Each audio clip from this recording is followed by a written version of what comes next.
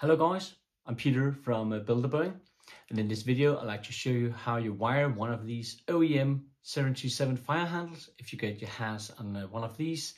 Uh, watch this video because uh, it might seem pretty straightforward but at least I was a bit frustrated today and I'd like to share that with you so hopefully you will save that frustration. On the back here you have a cannon plug, a 31 pin cannon plug and pin number one is in the middle and then it clockwise goes out from there, pin 2, 3, 4, 5, 6, 7, 8, 9, 10, 11, and so forth, all the way to pin 31, which is at the very outer of the plug. Corresponding female cannon plugs can be found at around, I found them at around 40 euros, $40, and you need three of them, of course, because you have three, three uh, handles. So that's around 150, uh, 120, 150 dollars, euros for corresponding female cannon plugs. They can be found, but they're expensive. I'm using this 3D printed bayonet mount instead, and the reason is, first of all, it's cheap because it's 3D printed, but furthermore, when I put the handle in, uh, it keeps the handle in place because it does require quite a lot of force to pull the handle up and down um, and I was afraid if the plexiglass here, that is the, the panel, was going to break from all that force being applied either upwards or downwards. So I'm going to mount this onto a piece of wood at the bottom and hopefully relieve the plexiglass up here for some of those forces. And that's why I'm using these instead. Wiring this ought to be pretty straightforward because here on the other side you have a wiring diagram. So it's just a matter of reading the diagram and finding the corresponding pins here at the, at the cannon plug at the end. So pin, uh, many of the pins are used to tell the aircraft whether or not the handle is up or down. And that's pin 5, 10, 16, 19, 22, 25, 30, and those corresponds with pin 4, 6, 9, 11, 15, 17, 18, 20, 21, 23, 24, 26, 29 and 31.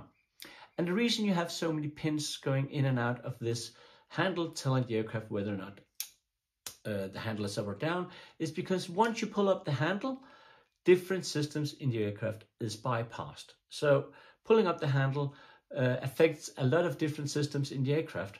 And the way the wiring is done in the Boeing 737, you have one wire going directly from one place to another. You don't have a wire, one wire coming out of this uh, unit here, and then at somewhere in the aircraft, it splits into four, seven different systems. If you need seven systems, if seven systems need to know that the handle is up, you have seven wires in and 14 wires out, one saying up, one saying down. In interfacing this in your cockpit, you can just use pin 5 as ground and then 4 and 6 as telling uh, your, your system if it's up or down.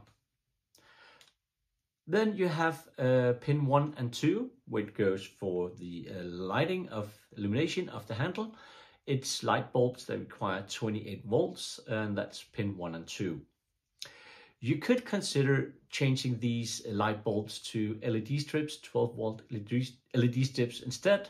Uh, that will save you some some some some current, some power, because they do uh, these light bulbs they do require a lot of power when lit but it will not uh, eliminate the need for 28 volts uh, power supply because inside here there's a solenoid as well and the solenoid prevents you from lifting the handle. So you can bypass the solenoid by pressing this switch but apart from that you're not able to lift the handle unless the solenoid is activated.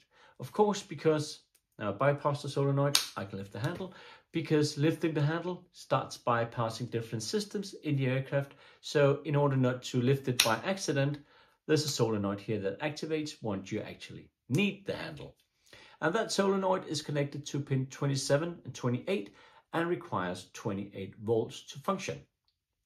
That's why you still need that 28 volt power supply. I found a 24 volt power supply that I was able to adjust the volume. There's a small adjustment nut uh, screw and I turned it up to 28 volts and that's how I get 28 volts for this. But I think you might actually be able to make it work with just 24 volts. It's worth a try. Then there's the turning of the handle like this, either to the uh, right or to the left. And that's pin 3, 7, 8, 13 and 14.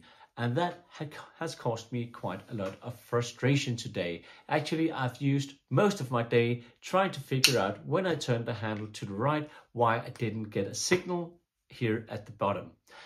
And um, it says clearly here, pin 3, 7, 8, 13, 14.